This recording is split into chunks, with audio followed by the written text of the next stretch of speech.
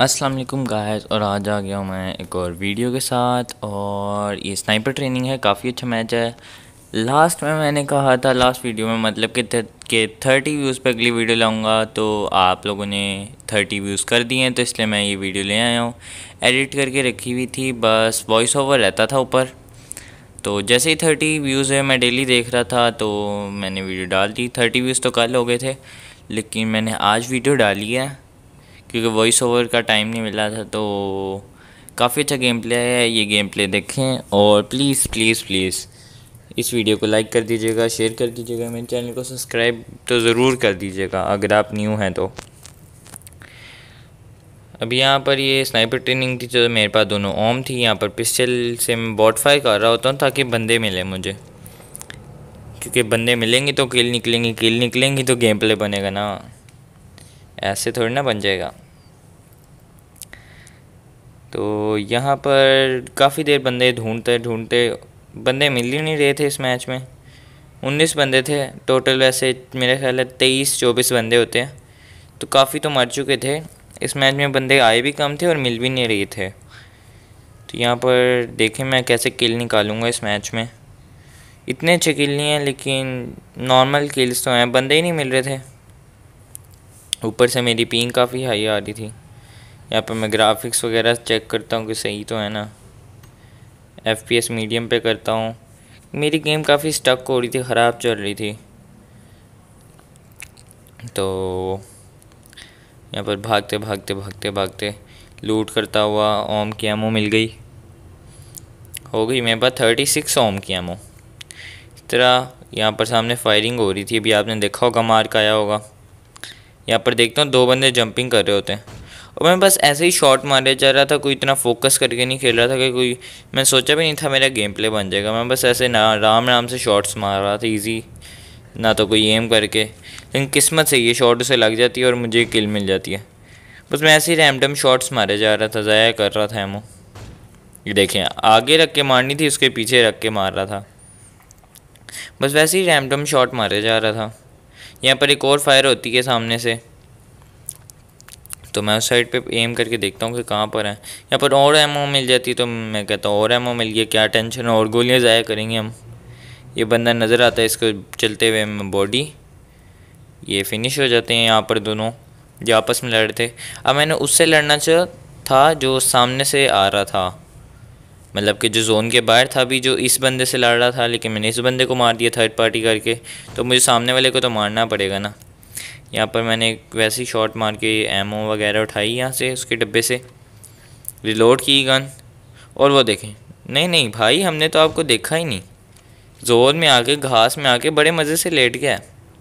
नहीं, हम देख सकते हैं आपको, ऐसी बात नहीं है कि आप आगे घास में लेट जाओगे।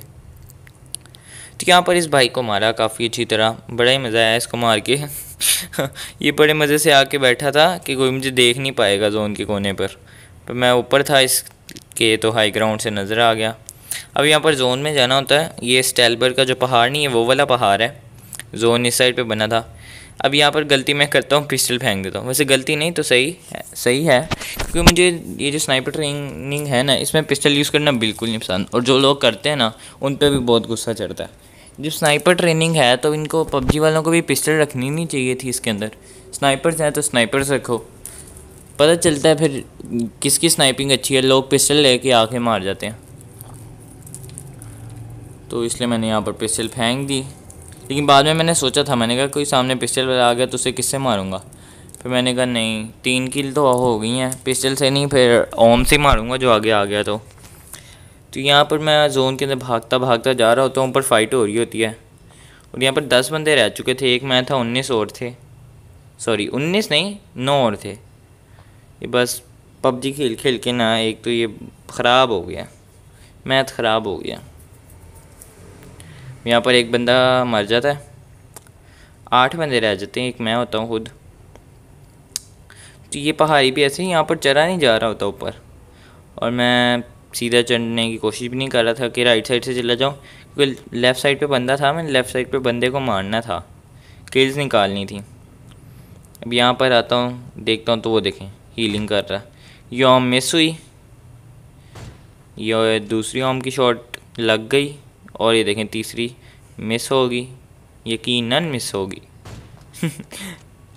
कैसे लग सकती हैं मेरी इतनी शॉट्स और ये देखें हेड शॉट अच्छी लगी हो शॉट तो प्लीज़ लाइक कर दीजिएगा। क्योंकि चलते हुए मैंने शॉट मारी थी काफ़ी तेज़ी से, मुझे बाद में खुद यकीन नहीं हुआ था मैंने शॉट मारी कैसे। मैं नूब बंदा इतनी अच्छी शॉट कैसे मार ली मैंने? उसके बाद यहाँ पर मैं पहाड़ी के ऊपर चले जाता जोन में। पाँच बंदे रह चुके थे, एक तो मैं था तो टोटल छः थे। यहाँ पर लूट वगैरह की मैंने। और मैं बार बार ख़ुद को बूस्ट रख रहा था। ताकि कोई मुझे बुलेट भी मार देता ना तो मैं बूस्ट से ही मेरी हेल्थ वापस भर जाए। और फिर मुझे दो शॉट की जगह मैं तीन शॉट में अगर मरूँ तो मरूँ। तो बच सकता है इस तरह बंदा। आप भी ख़ुद को बूस्ट रखा करें। तो उसके बाद यहाँ से मैं ऊपर जंपिंग करके जा रहा था, तेज़ तेज़। किसी तरह और बंदे मिल जाएँ, और किल चाहिए मुझे। जोन स्टाइल पर बना होता। मुझे पता था कि जितने भी होंगे ना, अब सारे स्टाइल पर कि यहाँ ऊपर लेटे होंगे या घास में लेटे होंगे, कहीं इसी तरह सारे कैंपिंग करके खेल रहे होंगे, क्योंकि कोई कवर तो है नहीं। घर तो ये स्टाइल पर की हैं, सिर्फ़ ये जो टूटे हुए र्यून्स कह सकते हो, जो भी हैं टूटी हुई इमारतें मारते पता नहीं क्या है, जो भी है। तो मैंने कहा, यहाँ पर होंगे या बाकी कैंपिंग करके घास में लेटे होंगे। तो यहाँ पर मैं फुल राइट से जा रहा होता हूँ, क्योंकि जोन में जाना होता है, इन पर तो जोन होता नहीं है। फुल राइट से होके जा रहा होता हूँ, बीच में बैंडेज दिखती है बैंडेज बैंडेज नहीं उठाई मैंने। ये क्या, मैंने सोचा था मैं बैंडेज उठाऊँगा। मतलब एडिटिंग के टाइम पे सोचा बैंडेज उठाऊँगा, पर नहीं उठाई। एक और बैंडेज यार, मैंने दो बैंडेज छोड़ दी।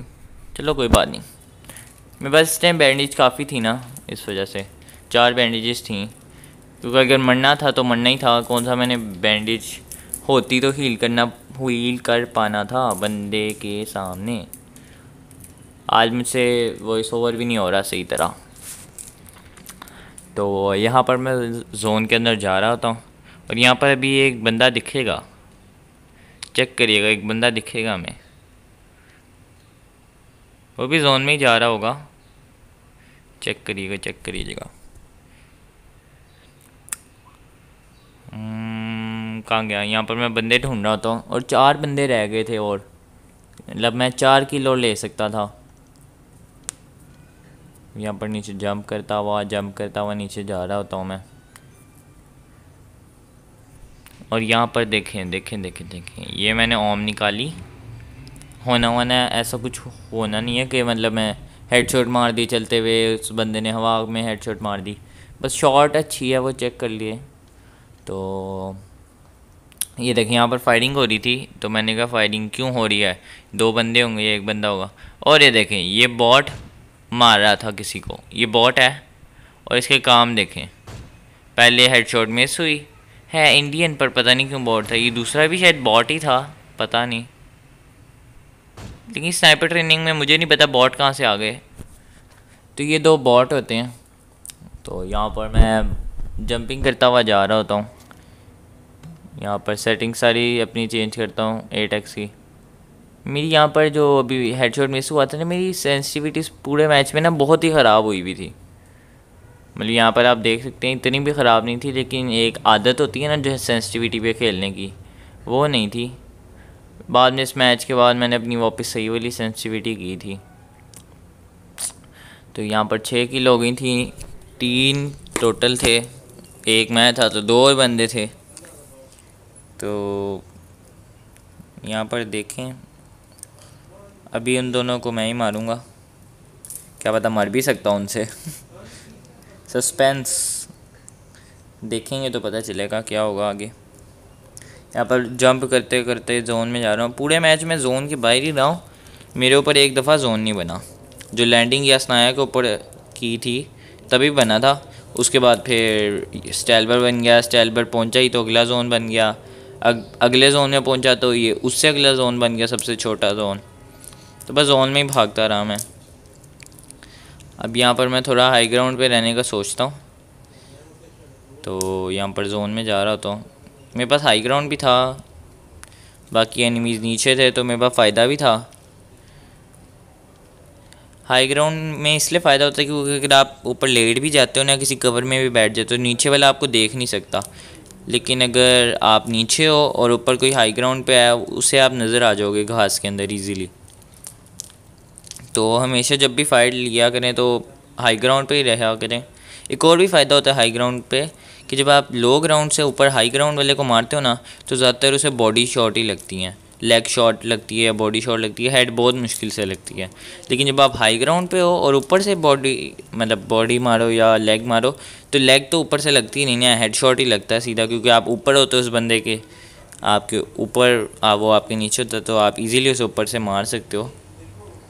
यहाँ पर तीन बंदे रह गए थे। यहाँ पर मैंने सोचा था चिकन तो मेरा आसान ही होगा। तो यहाँ पर दो बंदे रह जाते हैं। एक ये जोन में मर जाता है, एक किल मेरी ये ज़ाया हो जाती है। और यहाँ पर आप वन वी वन रह गया था तो मैंने कहा था इस बंदे को मारूँगा आखिरी को। बस ये मुझे ना मार जाए। टेंशन भी थी यहाँ पर। पर फिर भी मैंने छब्बीस किल में से सात निकालनी थी। छब्बीस, पता नहीं अब कितने थे स्टार्टिंग में तो उन्नीस थे तो उन्नीस से आप लगा लें, उन्नीस से सात किल निकालनी थी मैंने। अभी छः है ना, अभी देखिएगा अभी नंबर चेंज होंगे और सात होगा। अभी सात होगा। ये बंदा भाग रहा, इसे बॉडी मारी, ये पत्थरों के पीछे जाके बैठ गया, और ये ऐसी ख़राब सी शॉट मारी मैंने, और ये उसके हेड शॉट मारा। और यहाँ पर मिला मुझे विनर विनर चिकन डिनर सात किल के साथ चिकन डिनर हुआ और ये यूरोप था स्नाइपर ट्रेनिंग यूरोप का। शायद यूरोप था या मिडल ईस्ट था, पता नहीं, लेकिन मैं ज़्यादातर मिडल ईस्ट या यूरोप दो ही खेलता हूँ। और ये आ गया अब हमारा आज का क्लच डेली का जैसे क्लच होता है एक, बस अब मेरे क्लच ख़त्म हो गए हैं। ये रिसेंटली का क्लच है, बिल्कुल अभी अभी का। और ये यूरोप का है, यूरोप स्क्वाड का, ये क्राउन क्राउन टू का है शायद, या क्राउन थ्री का है गेम प्ले मतलब ये क्लच यहाँ पर एक गया नॉक पाकिस्तानी आर टी एक्स अब यहाँ पर राइट जम मारी, और ये देखें, ये जो बंदा है ना, दूसरा जो इसका टीममेट है, इसके बाद हंड्रेड आरपी का सूट है, और मेरी हेल्थ देखें आप। ट्वेंटी परसेंट होगी मेरी हेल्थ और इसके बाद हंड्रेड आर का सूट है, बस ये बहुत डर चुका था।